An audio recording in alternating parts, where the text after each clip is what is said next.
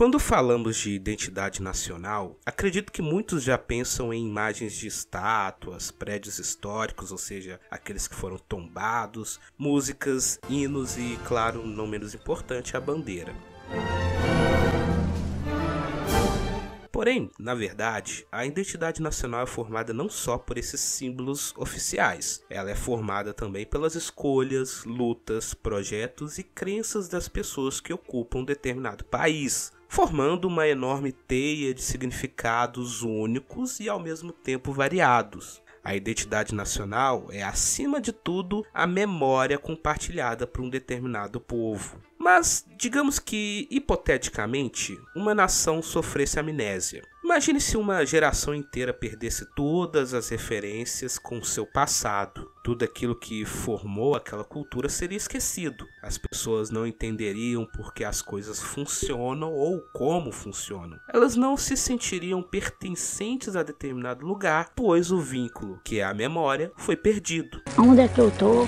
Nesse cantão deserto, esse cara alguém me ter, querer me prejudicar, querer me matar, sem eu saber onde é que eu estou? Será que eu estou na lagoinha? E um país sem passado é facilmente manipulado pelas relações de poder que ali se estabelecem. Pode acabar aparecendo uma história de origem que justifique um determinado grupo social estar no poder, ou até mesmo justifique algum tipo de violência contra alguns cidadãos específicos daquele país. E como alguém poderia contestar se a história, a memória desse país foi perdida? É por isso que nós, historiadores, existimos, para que não se perca a memória e para que constantemente reflitamos sobre o que nos trouxe até aqui, e às vezes para até mesmo entender o que é o aqui. Como Peter Burke diz, a função do historiador é lembrar a sociedade daquilo que ela quer esquecer. E é claro, eu tenho certeza que você sabe que os livros de história não aparecem escritos na estante magicamente, mas não custa nada lembrar. Por isso, o assunto do vídeo de hoje é sobre o ofício do historiador.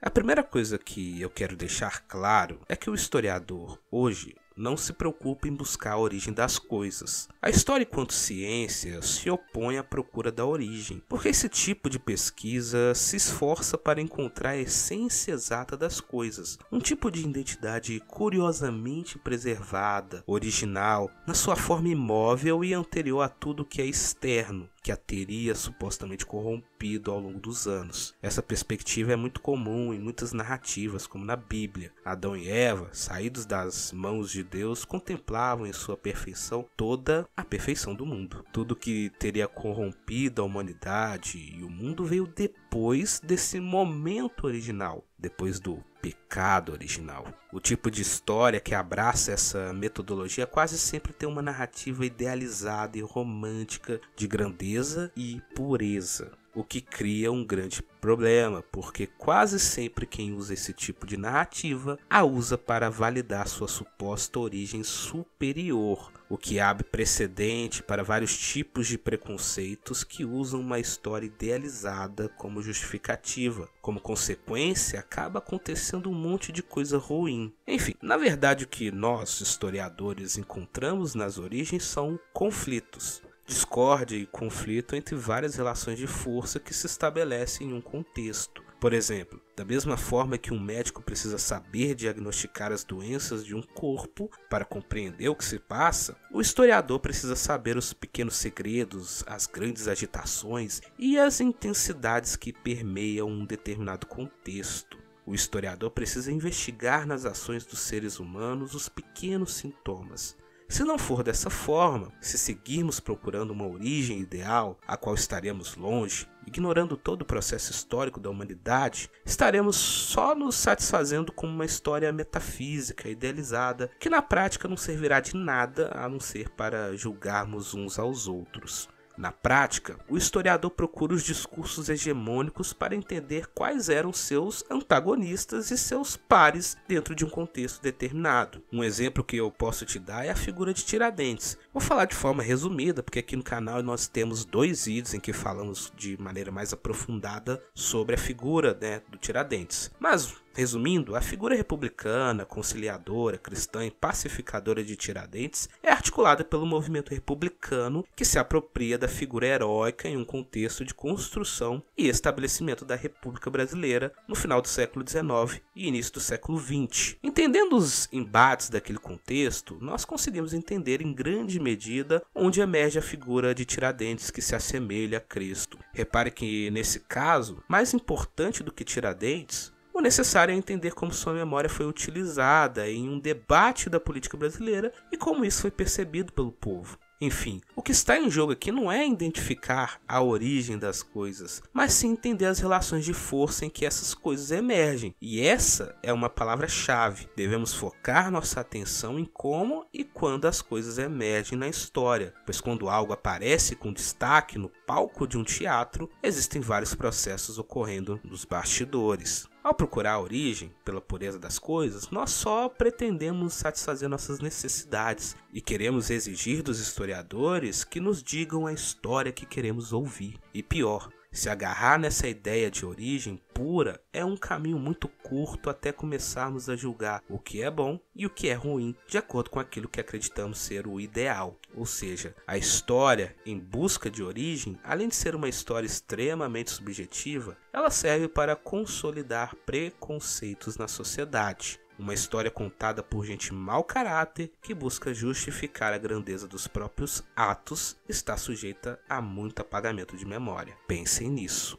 Me vejo obrigado a concordar com palestrinha. O historiador não trabalha se não tiver fontes. Isso precisa ficar extremamente claro. Essa é a matéria-prima que nós nos debruçamos e trabalhamos para transformá-la em história. Mas o historiador não pode fazer papel de bobo e acreditar em qualquer documento que encontra por aí. Vou explicar melhor. Vamos supor que eu vá pesquisar sobre a abolição da escravatura. Vou para um arquivo, começo a folhear alguns documentos do final do século XIX, até que eu acho a publicação original da Lei Áurea e percebo que, pelas mãos da princesa Isabel, como regente de Pedro II, foi assinada uma declaração que extinguia a escravidão no Brasil. Se eu sou um historiador do final do século XIX ligado ao Império, ou um historiador mau caráter, eu provavelmente aceitaria esse documento como um discurso absoluto. Afinal, ele foi produzido oficialmente pelo Estado e tem a assinatura de uma figura política importante para a instituição.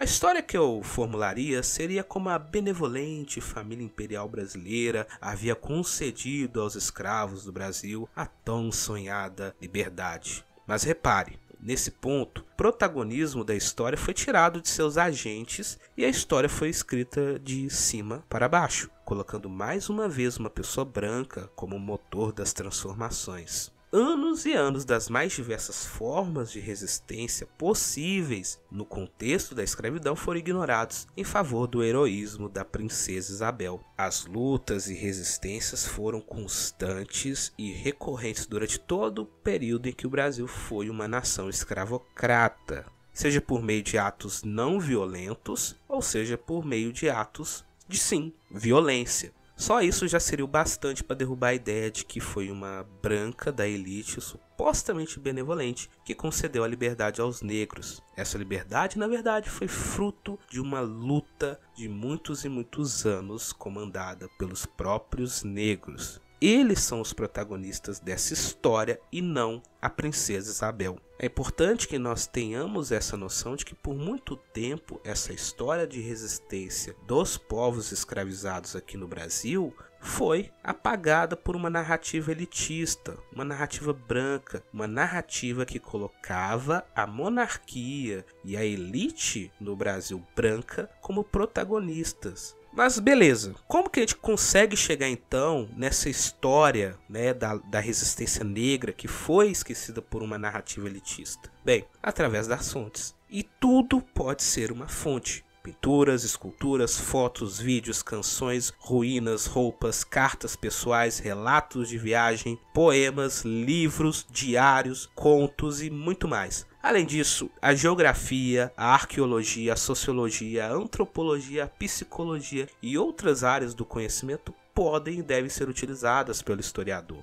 Mesmo povos sem escrita deixaram seu rastro pelo mundo, e esses indícios se tornaram fontes, matérias-primas para o trabalho do historiador. No caso das rebeliões no Brasil, por exemplo, há documentação construída pelos rebeldes, como termos, capítulos ou tratados, em que oficializavam as reivindicações, tinham pasquins e mesmo em livros com fontes impressas. As palavras dos condenados também podem ser ouvidas através de seus depoimentos para os agentes dos estados. Mas lembre-se, o historiador não pode fazer papel de bobo. Se algo foi preservado, há um motivo. Então a existência de uma fonte contém várias camadas de discussão. E é aí que entra o historiador, aquele que estudou por anos para dominar a metodologia. Afinal, história é uma ciência e há um método para se construir uma narrativa histórica. Não podemos simplesmente escrever o que pensamos. O historiador Paul Ricoeur cunhou os conceitos de subjetividade má ou boa. A má é quando o pesquisador usa as fontes como viés de confirmação para as próprias convicções. E é por isso que existe uma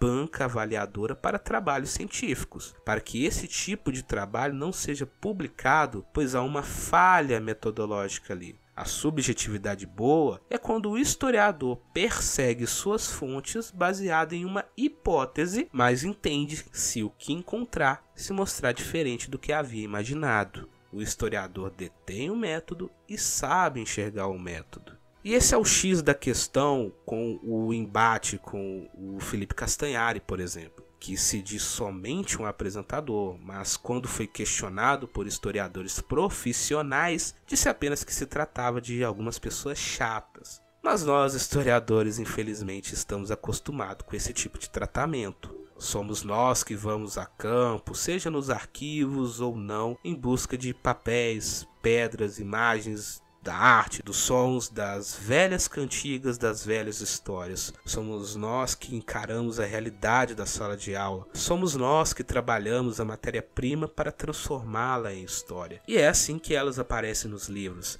É baseada no esforço de vários historiadores que constroem a memória com fontes e métodos. É necessária uma operação técnica no levantamento e análise dos documentos, pois encontrar um objeto do passado que diz algo não necessariamente torna aquilo como verdade. Os militares brasileiros são a maior prova disso. Segundo os mesmos, o golpe de 64 era para proteger o Brasil dos comunistas, mas esse mesmo exército garantiu sigilo para muitos documentos da ditadura militar. E como eu disse, os historiadores precisam de fontes os militares garantiram que essa memória seria apagada e, como eu disse, um país sem memória é facilmente manipulado pelas relações de poder que se estabelecem. Malditos milicos! O ofício do historiador é extremamente complicado. O historiador, ao falar sobre um assunto, precisa conhecer tudo o que já foi escrito sobre aquilo, precisa ter fontes para sustentar tudo aquilo que está dizendo e precisa ter método para construir a narrativa histórica.